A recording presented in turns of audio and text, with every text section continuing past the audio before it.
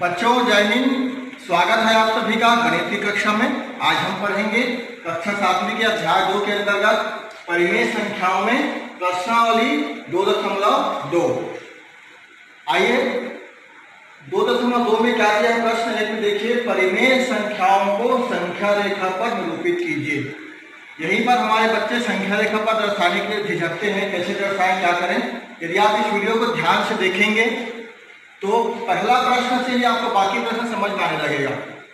तो चलिए देखते हैं। पहला आपको दिया हुआ है दो बटे तीन। ये एक परिमेय संख्या है, दो बटे तीन। इसको हमको संख्या रेखा पर बताना है। फिर इन पाँच बटे नौ दिया है फिर इन तेरह बटे तीन बटे तेरह दिया है, और इन सोलह बटे तीन, पाँच दिया है। तो इन चारों संख्याओं को हम संख्या रेखा पर दर्शाएँगे। आइए इसमें पहला देखते हैं हम, दो बटे तीन को। इसको संख्या रेखा पर दर्शाने से पहले, सबसे पहले आपको अनुमान लगाना होगा कि दो बटे तीन कहाँ पर आएगा। दो बटे तीन शून्य से बड़ी संख्या है कि नहीं है? है। लेकिन एक से बड़ी है क्या?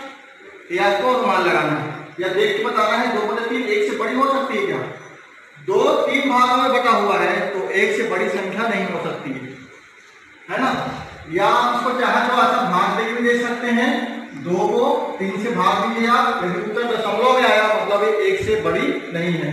देखिए भाग जाएगा नहीं, शून्य बाद भाग देंगे इसको। दो बार यहाँ पर दशमलव लगाएँगे, शून्य बढ़ाएँगे। तीन छह का अठारह दशमलव छह इसको उत्तर। इसका मतलब ये एक से बड़ी नहीं है। तो जब एक से बड़ी नहीं है तो कहाँ पर आएगा? ये शून्य और एक के बीच में आएगा। शून्य से बड़ी है और एक से छोटी है तो शून्य और एक के बीच में आएगा। इसलिए हम शून्य और एक के बीच में इसको दर्शाएँगे। अब करेंगे क्या हम इसको? शून्य और एक के बीच में जो खाना है यहाँ पर देखिए, इसको हम तीन बराबर भागों में बांटेंगे। आप नाप के बांट सकते हैं। मैं अभी बिना नापे बांट रहा हूँ आपको बताने के लिए। आप कोशिश कीजिएगा कि इसको शून्य और एक के बीच की दूरी को नाप लीजिए और बराबर बराबर तीन भागों में बांट लीजिए। तो ये एक हो गया, दो और ये तीन। देखिए यहाँ पर एक भाग ये हुआ, एक भाग ये हुआ और एक भाग ये हुआ। इसको हम लिखेंगे एक बटे तीन। इसको हम लिखेंगे दो बटे तीन, और इसको लिखेंगे तीन बटे तीन। तीन बटे तीन का मतलब क्या हुआ? एक, तीन भाग में बटा हुआ, देखिए, एक भाग, एक बटे तीन, दूसरा भाग एक बटे तीन है, तीसरा भाग एक बटे तीन है। लेकिन यहाँ से यहाँ तक का जो भाग है, देखिए, एक, यहाँ से यहाँ तक का भाग एक बटे तीन कहलाया, और यहाँ शून्य से लेकर यहाँ तक का भाग दो बटे तीन कहलाया, और शून्य से लेकर यहाँ तक का भाग तीन बटे तीन कहलाया। हमको दिखाना क्या है? दो बटे तीन। तो आप यहाँ पर दिखा दीजिएगा ऐसे एरो बना के ये जो है भाग है वो दो बटे तीन है संख्या रेखा पर। इतना आसान सा काम है, जिसको हमारे कई बच्चे जो है वो झिझकते हैं करने में बना भी नहीं पाते हैं। यदि आप शांति से सोचेंगे इसको कि ये संख्या सबसे पहले कहाँ पर आएगी, ये आपको ध्यान में रखना है। उसके बाद संख्या रेखा बना लेनी है ऐसे आपको। आपको इस समय जब धनात्मक संख्या इधर की रेखाओं को बनाने की आवश्यकता नहीं है। आपको आप शून्य से आगे तक के बना सकते हैं अपनी कॉपी के अनुसार, उसके साइज़ के अनुसार। चाहे तो इसको और बड़ा कर सकते हैं आप, शून्य और एक बस ले सकते हैं। आगे की संख्याओं को लिखने की आवश्यकता आपको नहीं है। तो इस प्रकार से यहाँ पर आप दो बटे तीन दर्शाएँगे। चलिए देखते हैं। आइए आप देखते हैं, तीन पाँच बटे नौ को संख्या रेखा पर कैसे दर्शाएँगे? तो सबसे पहले आप देखिए तीन पाँच बटे नौ कहाँ पर आएगा। जब हर की संख्या बड़ी हो और अंश की संख्या छोटी हो, तब आप ये निश्चय कर लीजिए कि ये संख्या शून्य और एक के बीच में ही आएगी। लेकिन ये संख्या जो है, ऋणात्मक है शून्य और ऋण एक के बीच में आएगी। है ना? यहाँ पर देखिए ऋण पाँच बटे नौ लिखा हुआ है, इसलिए ये संख्या जो है वो शून्य और ऋण एक के बीच में आएगी। तो हमको क्या करना है? शून्य और एक के बीच को कितने भाग में बांटना है? कुल नौ भागों में बांटना है। चलिए बारह से हैं। एक भाग, दो, तीन, चार, पाँच छ सात, आठ और ये नौ। आप नाप के बांटिएगा हो सके तो आप क्या कीजिए, नौ सेंटीमीटर लीजिए, शून्य से लेकर यहाँ तक, और प्रत्येक सेंटीमीटर को एक भाग में बांटिएगा। ये हो गया, ये वाला भाग कहलाएगा एक बटे नौ ऋण एक बटे नौ, ये वाला भाग कहलाएगा ऋण दो बटे नौ, ये वाला भाग कहलाएगा ऋण तीन बटे नौ, ये वाला भाग कहलाएगा ऋण चार बटे नौ, और ये वाला भाग कहलाएगा ऋण पाँच बटे नौ। ये भाग हो गया ऋण पाँच बटे नौ, हमारा जो उतारा था वो यही है। इसके बाद आगे वाला हम लिखेंगे ऋण छह बटे नौ ऋण सात बटे नौ ऋण आठ बटे नौ, और ये है ऋण नौ बटे नौ। ये ऋण नौ बटे नौ का मतलब हो गया ऋण एक। यहाँ पर हमारा उत्तर क्या है? ऋण पाँच बटे नौ। तो हमको दिखाना ये है। तो हम इसको एरो से ऐसा अच्छे से दिखा देंगे। ये यहाँ तक का जो भाग है वो ऋण पाँच बटे नौ है। इस प्रकार से संख्या रेखा पर दर्शाएँगे। तो धनात्मक होगी संख्या तो धनात्मक पक्ष में आएगा। ऋणात्मक होगी संख्या तो ऋणात्मक पक्ष की ओर हम उसको दर्शाएँगे। आइए देखते हैं ऋण सोलह बटे ऋण पाँच को संख्या रेखा पर कैसे दर्शाएँगे। तो सबसे पहले देखिए यहाँ पर ऋण सोलह ऊपर है और ऋण पाँच नीचे है। अंश में भी ऋण है हर में भी ऋण है, इसलिए हम इन दोनों को काट देंगे तो क्या बन जाएगा, दोनों धन बन जाएगा। इसके बराबर हो गया सोलह बटे पाँच। अब देखिए यहाँ पर सोलह बटे पाँच में हर छोटी संख्या है और अंश बड़ी संख्या है। यानी कि एक मिश्र भिन्न है। इसको ये अनुचित भिन्न है जिसको मिश्र भिन्न बदलेंगे पहले। ये हो जाएगा पाँच किया पंद्रह, बचेगा एक, तीन सही एक बटे पाँच। ऐसा हो जाएगा। अब ध्यान से देखिए यहाँ पर तीन सही एक बटे पाँच। इसको हम मिश्र भिन्न बदलेंगे तो यह आ जाएगा तीन सही एक बटे पाँच। तीन सही एक बटे पाँच कहाँ पर आएगा? शून्य पर एक, दो, तीन के बाद। तीन और चार के बीच के जो दूरी है उसको हम पाँच भागों में बांटेंगे चलिए कैसे बांटेंगे? देखते हैं यहाँ पर। ये देखिए, शून्य यहाँ पर है। आप, हम ऋणात्मक पक्षों को भी नहीं लिए हैं क्यों? क्योंकि हमारी जो संख्या है वो धनात्मक वाली है। तो शून्य से लेकर एक यहाँ तक है, दो यहाँ तक है, तीन यहाँ तक है। अब इसका मतलब है तीन सही एक बटे पाँच तीन से ही एक बटे पाँच के बाद तीन पूरा पूरा रहेगा। और तीन और चार के बीच की संख्या जगह को हम पाँच बराबर भागों में बांटेंगे। तो चलिए बांटे एक, दो, तीन, चार और पाँच। देखिए, एक भाग, दो भाग, तीन भाग, चार भाग और पाँच भाग। हमको लेना कितना है? एक भाग। एक भाग है यहाँ पर। एक बटे पाँच। ये तीन है यहाँ से। देखिए, एक, दो, तीन। तीन से ही एक बटे पाँच। तो तीन से ही एक बटे पाँच, यही वाला जो जगह है, वो तीन से ही एक बटे पाँच है। आप चाहे तो इसमें पाँच भाग में बांट सकते हैं। एक, दो, तीन, चार, पाँच। एक, दो, तीन, चार, पाँच। एक, दो, तीन, चार, पाँच। आप पूरा करिएगा। एक, दो, तीन, चार, पाँच छ सात, आठ, नौ, दस, ग्यारह, बारह, तेरह, चौदह, पंद्रह। अब ये सोलह। ये सोलह। ये आ गया हमारा सोलह बटे पाँच भागी लेकिन ऐसे देखेंगे तो होगा एक, दो, तीन सही एक बटे पाँच। इस प्रकार से आप ऋण सोलह बटे ऋण पाँच को दर्शा सकते हैं। ऊपर और नीचे दोनों में ऋण लगा है, इसलिए धनात्मक संख्या बन जाएगी। और इसको भी से भिन्न बदलेंगे तो वो तीन से एक बटे पाँच। इसी प्रकार से आपको बाकी सवालों को भी हल करना है। आइए देखते हैं प्रश्न क्रमांक दो को। इसमें आपको प्रश्न दिया हुआ है कि निम्नलिखित परिमेय संख्याओं को संख्या रेखा पर दर्शाइए। और बताइए कौन सी परिमेय संख्या छोटी है, कौन सी परिमेय संख्या बड़ी है। तो देखिए आपको दो परिमेय संख्या पर दी गई है तीन बटे पाँच और ऋण सात बटे आठ। तो यहाँ पर देखने में ही समझ में आ रहा है कि छोटी कौन सी है, बड़ी कौन सी है। जो संख्या ऋणात्मक है, वो छोटी होती है, जो धनात्मक है, वो हमेशा बड़ी होती है। तो यहाँ पर तो ऋण सात बटे आठ छोटी है, लेकिन हमको संख्या रेखा पर दर्शा के बताना है कि छोटी कौन सी है, बड़ी कौन सी है। तो छोटी और बड़ी के कॉन्सेप्ट पहले समझ लेते हैं। जो संख्या शून्य के दाहिने ओर होती है, वो संख्या बड़ी होती है, और जो संख्या शून्य के बाई ओर होती है, वो संख्या छोटी होती है। जैसे देखिए शून्य के बाई ये ऋण एक एक शून्य से छोटी है। अब आइए इसको दर्शा के देखते हैं, तीन बटे पाँच। तो कहाँ पे आएगा, धनात्मक की ओर आएगा, क्योंकि हर यहाँ पर पाँच बड़ी संख्या है तीन से, इसलिए ये संख्या जो है शून्य और एक के बीच में आएगी। तो शून्य और एक के बीच को हम पाँच बराबर भागों में बांटेंगे। चलिए बांटते हैं, एक, दो, तीन, चार और पाँच। पाँच भागों में हमने बांट दिया।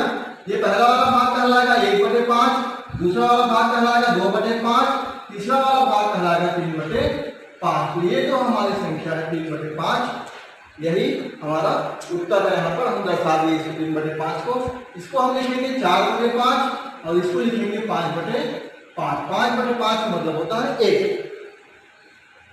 अब देखिए ऋण सात बटे आठ को दर्शाएँगे। यहाँ पर आठ जो देख रहे हैं आप, ये बड़ी संख्या है ऋण सात से, इसलिए ये भी ऋण एक और शून्य के बीच में ये संख्या आएगी तो हमको ऋण एक और शून्य के बीच को आठ भाग में बांटना है। एक, दो, तीन, चार, पाँच छः सात और ये हो गया आठ। तो ये आठ भाग में बांट दिया इसको। अब देखिए चलो ये ऋण एक बटे आठ है, ये ऋण दो बटे आठ है, ये ऋण तीन बटे आठ है, ये ऋण चार बटे आठ हुआ। ये वाला खंड हो गया पाँच बटे आठ, ऋण पाँच बटे आठ, ऋण छह बटे आठ और ये ऋण सात बटे आठ। यहाँ पर जो संख्या दर्शाए ऋण सात बटे आठ, यही हमारा ये संख्या ऋण सात बटे आठ। तो ऋण सात बटे आठ यहाँ पर आया है, ये किधर आया ऋण सात बटे आठ? देखिए, शून्य के बाई ओर। और तीन बटे पाँच किधर है?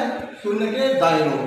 तो शून्य के दाई ओर जो संख्या है, आप लिखेंगे यहाँ पर, तीन बटे पाँच बड़ी है ऋण सात बटे आठ से क्यों? क्योंकि तीन बटे पाँच शून्य के दाई ओर है और ऋण सात बटे आठ शून्य के बाई ओर है। इस प्रकार से आप कारण देखिए लिखेंगे तो आपको पूरा पूरा नंबर मिलेगा इस सवाल में। अब आइए देखते हैं प्रश्न क्रमांक तीन को। यहाँ पर आपको कुछ संख्याएँ दी गई हैं और खाली जगह दिया गया है। इस खाली जगह में आपको बड़ा का चिन्ह छोटा का चिन्ह और बराबर का चिन्ह भर, भरना है। तो आप देखिए ध्यान से संख्याओं को यहाँ पर तीन बटे दो लिखा हुआ है। फिर यहाँ पर हमको चिन्ह भरना है और इस तरफ़ दिया हुआ पाँच बटे चार। दोनों संख्याओं को देखने पर समझ में आता नहीं हमको कौन सी संख्या बड़ी कौन सी संख्या छोटी है। तो इसके लिए क्या करेंगे हम सबसे पहले दोनों संख्याओं के हर को बराबर करेंगे, यानी कि दोनों संख्याओं को हम समहर बनाएँगे, जैसे हम भिन्न के पाठ में बनाए हुए हैं। तो इसको हर को दोनों को बराबर करने के लिए क्या करेंगे?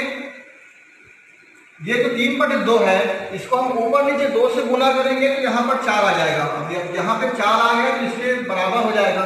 दूसरे वाली संख्या के हर के बराबर। चलिए गुना कर लेते हैं इसको। दो से गुना कीजिए, ऊपर भी, नीचे भी। दो से गुना करेंगे तीन को तो छह हो जाएगा, और दो से गुना करेंगे दो को तो चार हो जाएगा। अब देखिए, ये संख्या जो है वो दोनों की, दोनों के हर जो है बराबर हो गए तीन बटे दो का तुल्य तुल्य ये परिमेय संख्या है, छह बटे चार। अब दोनों का हर बराबर हो गया तो हम अंश की तुलना करेंगे। अंश में बड़ा कौन है? छह बड़ा है कि पाँच? तो यहाँ पर छह बड़ा है। अंक छह बड़ा है, इसलिए हम बड़ा का जो चिन्ह है उसको छह की तरफ़ रखेंगे और छोटा का जो समूह है उसको पाँच की तरफ़ रखेंगे। इस प्रकार से हम कहेंगे तीन बटे दो बड़ी संख्या है, पाँच बटे चार से। तो बड़ी और छोटी पहचानने के सबसे पहले आपको हर को बराबर करना होगा। इसको आप पहले करेंगे। फिर उसके बाद देखिए एक और संख्या दी गई है आपको ऋण छह बटे आठ और ऋण दो बटे पाँच। देखिए यहाँ पर दोनों धनात्मक है, इसलिए हम देख के नहीं कर सकते। यहाँ पर दोनों ऋणात्मक है, इसलिए हम देख के यहाँ पर नहीं बता सकते। दोनों संख्या जो है वो संख्या लिखा पर शून्य के बाई ओर आएगी। इसलिए अभी कह नहीं सकते कि बड़ी कौन सी, छोटी कौन सी। अब यहाँ पर क्या करना है आपको देखिए, इसके हर से इधर ऊपर नीचे गुना कर दीजिए। और इसके हर से इधर ऊपर नीचे गुना कर दीजिए। चलिए, पाँच से हम ऊपर नीचे गुना करेंगे, इसको तो क्या हो जाएगा? पाँच छः का तीस ऋण तीस बटे चालीस, पाँच अट्ठे चालीस। इसके हर से इधर ऊपर नीचे गुना कर रहे हैं। अब इसके हर से इधर ऊपर नीचे गुना करेंगे तो दोनों का हल जो है वो बराबर हो जाएगा। या लघुत्तम लेके भी कर सकते हैं आप, लेकिन ज़्यादा आसान क्रिया है। अब इसको आठ से गुना करेंगे ऊपर नीचे तो क्या होगा? आठ उन्नीस सोलह तीन सोलह आठ पंचे चालीस। देखिए, दोनों का हर तो बराबर हो गया।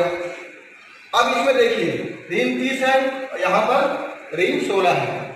बच्चे गलती यहीं पर अक्सर करते हैं, ऋण तीस बड़ा लिख देते हैं और ऋण सोलह को छोटा लिख देते हैं। लेकिन आप ध्यान रखिएगा, ऋणात्मक संख्याओं में जो संख्या जितनी छोटी दिखती है, वो बड़ी होती है। और जो संख्या जितनी बड़ी दिखती है, वो छोटी होती है। तो ऋण तीस जो है, वो संख्या रेखा पर भी आप देखेंगे तो ऋण सोलह के बाद आएगा, और बाई और आएगा। इसलिए ये ऋण तीस छोटी संख्या है, जबकि ऋण सोलह बड़ी संख्या है। इसलिए इसका चिन्ह जो है वो ऐसा लगेगा। या हम कह सकते हैं ऋण दो बटे पाँच बड़ी है ऋण छह बटे आठ से। इसको हम पढ़ेंगे ऋण छह बटे आठ छोटी है ऋण दो बटे पाँच इसी प्रकार बाकी जो सवाल दिए हुए हैं आपको प्रश्न क्रमांक तीन में, उसको भी हल करना है। आइए हम प्रश्न क्रमांक पाँच को देखते हैं। प्रश्न क्रमांक पाँच में दिया गया है आपको कि कौन सी परिमेय संख्या बड़ी है, ये आपको बताना है। तो देखिए, यहाँ पर पाँच दिया गया है और तेरह बटे तीन दिया हुआ है। ये देखने से समझ में आ रहा है कि बड़ी कौन सी है। ये पूरा पूरा पाँच है और ये तेरह बटे तीन है। तेरह बटे तीन का भी हम हल करें, तीन से तेरह को भाग दें तो याद आएगा तीन चौ बारह और एक बटे तीन। चार से एक बटे तीन। और ये पूरा पाँच है। तो दोनों में बड़ी तो पाँच है क्योंकि चार सही एक बटे तीन है, मिश्र भिन्न के रूप में लिखे तो। ये तो छोटी दिख रही ऑलरेडी चार इकाई पूर्ण है और थोड़ा सा और एक बटे तीन। लेकिन यदि हम इसको नियमता हल करें कैसे हल करेंगे, देखिए चलिए इसको पहले लिखेंगे, पाँच बटे एक, इसके हल में कुछ नहीं है मतलब क्या है? एक है और ये दूसरी संख्या क्या है? तेरह बटे तीन। अब हम दोनों के हर को बराबर करेंगे। तो क्या करेंगे? इसके हर से इधर दोनों तरफ़ गुना करेंगे चलिए, और इसके हर चीज़ इधर तो पाँच गुना तीन बटे एक गुना तीन। इसके हर से इसको ऊपर नीचे गुना किए और इसको एक से गुना करेंगे उतना ही आएगा?